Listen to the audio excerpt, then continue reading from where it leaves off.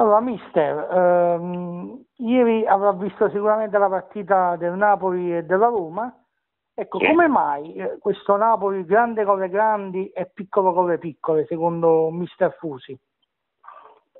Eh beh, ci sono anche magari delle serate particolari dove non si riesce ad essere quello che si vorrebbe essere, però eh, dobbiamo anche tenere presente che essendo impegnato anche in tutte le competizioni, il Napoli magari in campionato ogni tanto tira un po' il freno.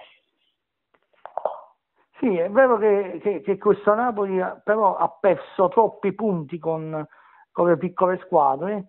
La statistica Sì. ci dice quasi 18 punti. Ecco, con questi 18 punti il Napoli poteva essere anche a un tiro di schioppo proprio dalla Juventus. Secondo me è più una questione di, di mentalità o di cosa? Cioè che questo Napoli con le grandi squadre difficilmente fallisce, però con le piccole a volte ha concesso troppi punti. No, però, ripeto, essendo che in molte partite eh, questi punti sono stati persi, magari quando c'erano eh, di mezzo le competizioni o, o l'Europa League, Ah, quindi lei dice che è comunque, una questione del, della eh, Coppa anche la UEFA. Coppa ecco. Italia Ah, o la Coppa Italia che giustamente eh, il mister ha preferito fare turnover sapendo che eh, queste competizioni per, per Napoli erano importanti, dando sempre valore al campionato, ma sapendo che in questo momento la Juve ha qualcosa in più e quindi si è buttato su competizioni che possono dare grandi soddisfazioni a, a tutto l'ambiente. eh, certo, mister. Ehm, la difesa, insomma, sembra essere cresciuta molto grazie soprattutto all'apporto che sta dando finalmente Fernandez, mentre le maggiori crepe sembra avere il centrocampo, no?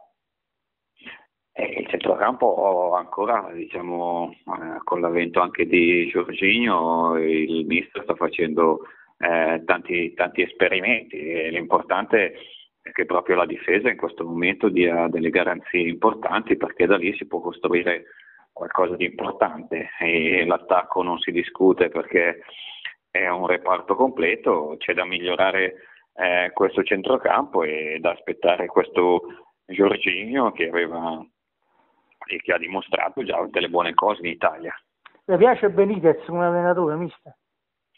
Sì, molto, molto bravo, soprattutto nella, nella gestione di queste eh, di tutta la rosa e, e nei momenti importanti ha avuto una gestione importante di tutto il gruppo, anche se è normale che da qualche parte devi pagare qualcosina, però lui l'ha gestita molto bene.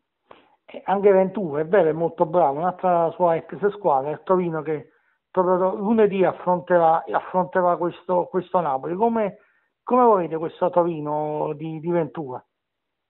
No, ha fatto, sta facendo un buon campionato, ha un attimo rallentato con queste eh, due, due sconfitte con eh, la Sampdoria e con l'Inter e questo ha un po' raffreddato quegli entusiasmi che si erano creati prima perché la squadra sembrava eh, destinata a- ad arrivare vicino alle, alle primissime, adesso c'è stato questo rallentamento che però eh, fa sempre sì che la squadra sia in una buonissima situazione di classifica.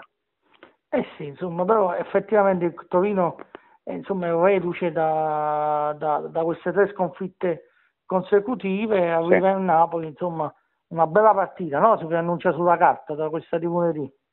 Sì, anche perché il Napoli giustamente vede oramai la Roma eh, vicino e quindi crede anche a questo secondo posto. Eh, L'unica cosa è che questo Torino, venendo da queste tre sconfitte, ha sicuramente bisogno di, di fare un risultato positivo, quindi troverà una squadra eh, molto carica da questo punto di vista che vuole eh, riconquistare un po' il pubblico. Quindi non è assolutamente scontato una vittoria del Napoli al Torino, insomma, secondo Eh, me no, partita- Eh. No, secondo me no, perché è una partita proprio difficile perché a parte che viene dopo un impegno sempre in Europa League per il Napoli, quindi un'altra partita eh, no scusa, eh, sta accusando queste partite, le, le- tante partite del Napoli e quindi e si trova anche se giocando di lunedì c'è la possibilità di recuperare ancora di più, però è proprio forse la situazione del Torino quella che sì, dà maggiori problemi perché quattro sconfitte consecutive per, per il Torino sarebbero importanti. È vero, è vero. Mister, ma il Napoli può, può, pensare davvero a questo punto di, di acciuffare la Roma al secondo posto o la Roma diciamo, è superiore? Ma secondo me non è che, che sia superiore, il, il, problema del Napoli è che ancora tutte queste competizioni, la Roma ha solo il campionato per cui può guardare al campionato con, eh, con più così, eh, tranquillità, il Napoli con l'Europa League, la, la Coppa Italia ha degli appuntamenti ancora, ancora importanti e, e che ripeto sono sono competizioni che danno un certo prestigio, quindi il Napoli non può abbandonare eh, queste piste per dedicarsi completamente al campionato, ciò che invece può fare la Roma. Però, eh, ripeto, sta dimostrando Benitez di saper gestire molto bene la rosa, quindi può anche essere eh, che anche in campionato il Napoli piano piano possa avvicinarsi ancora alla Roma. Roma Udinese la vede come una partita scontata per i giallorossi? No, di scontato nel calcio non c'è niente, l'Udinese ha dimostrato con il Milan di, di, essere in una buona condizione, ha avuto momenti eh, più difficili durante l'annata, adesso si è ripresa e anche per loro può essere una partita per dare continuità a quello che ha fatto col Milan. Invece l'Inter la vede effettivamente si è ripresa, Mazzari lo sappiamo, in primavera fa sempre grandi cose, eh, insomma Verona-Inter come, come va vede, mister Fusi? Beh, il Verona è una, un'ottima squadra, una squadra che uh, sta facendo un ottimo campionato, anche se è normale che eh, in un certo momento della stagione queste squadre eh, dette provinciali possano un po' accusare qualche calo di tensione, però è una squadra che ha fatto bene, per cui anche per l'Inter non è, non è una partita facile, anche se, se loro sono cresciuti in queste in queste ultime partite, però andare a, a giocare la partita a Verona non sarà facile. Eh, mister, ultime due curiosità, Vivo. Prego. Sì. Un aneddoto, insomma, di quando lei era a Napoli, dicevo, chiedono in molti tifosi del Napoli, insomma, che la ricordano con grande affetto, magari ad avere un giocatore come Fusione nel Napoli, insomma, un aneddoto che la lega all'esperienza azzurra. Ma, eh, sarebbe molto lungo perché l'esperienza azzurra è stata bella, intensa e, e, piena di, di, bellissimi ricordi. Io non posso dimenticare la sera eh, della vittoria in, in Coppa UEFA perché al di là di tutti i napoletani che erano a Stoccarda quel giorno, quando arrivavamo a Napoli, eh, era impossibile tornare eh, dall'aeroporto a Napoli per per quanta gente ci fosse sulle strade, queste sono eh, cose che ti rimangono dentro, penso, e sono difficili da cancellare. Certo, certo. Eh, mister, aveva parlato della Coppa UEFA, ma insomma questa, questa Juventus che in campionato sembra di un altro pianeta, no? Eppure sì. poi va, va, a giocare in Europa e, e, non si dimostra così forte. Ma davvero il nostro calcio rispetto a quando giocava lei ha fatto molti passi indietro o cosa è successo? No, io penso che sia solo per quanto riguarda la, la prima parte del, del, della Champions, non dimentichiamo che il Napoli ha totalizzato un numero di punti che in qualsiasi altro girone gli avrebbe permesso di, di andare avanti. La Juventus forse ha, diciamo così, tra virgolette, snobbato la prima partita, forse sottovalutando eh, l'avversario e complicandosi tutto il girone, altrimenti avrebbe potuto eh, gestire anche loro la qualificazione.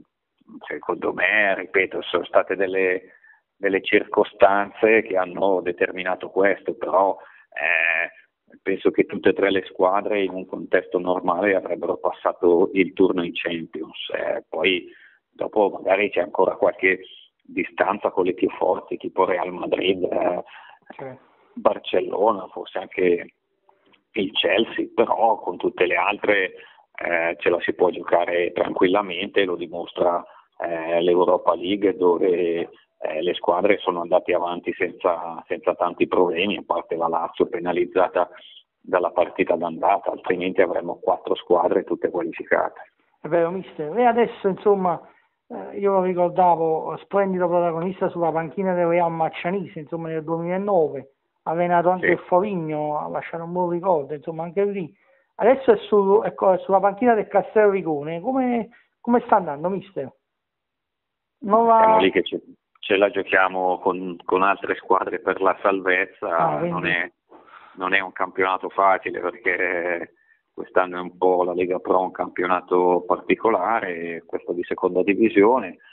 Eh, per il Castellrigone è la prima esperienza in questo campionato professionistico, abbiamo pagato un po' questa inesperienza, però siamo lì insieme alle altre e questo è già un dato positivo, speriamo di essere lì a lottare fino all'ultima giornata insomma.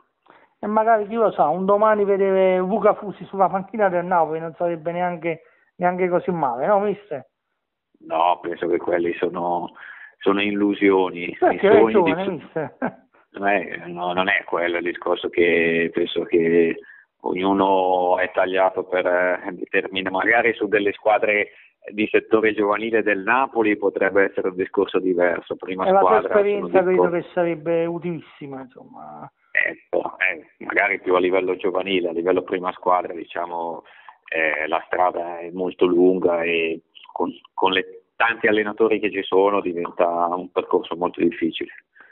Va bene, mister, la ringrazio per la sua solita squisita disponibilità. Sì, ci mancherebbe, grazie a lei. Buona serata. Arrivederci, buona serata, grazie, arrivederci.